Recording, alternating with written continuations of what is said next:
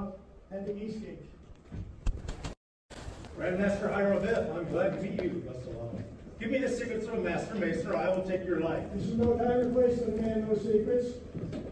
Talk to not to me about time, place, patience, or the completion of the temple.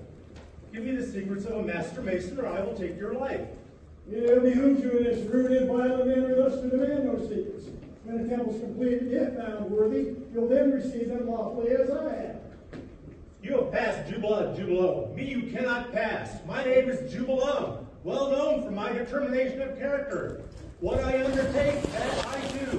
Give me the secrets of a master mason instantly, for I will take your life. I will not.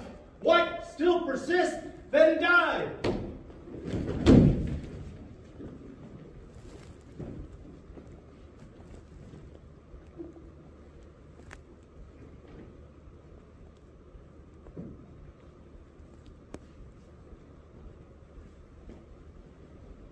What horrid deed is this? We have slain the Grand Master Hiram Abiff. This is no time for reflection. What shall we do with the body? We will carry, we will bury the rubbish in the temple and the love of God. Will meet again and discuss what to do with it. Agreed.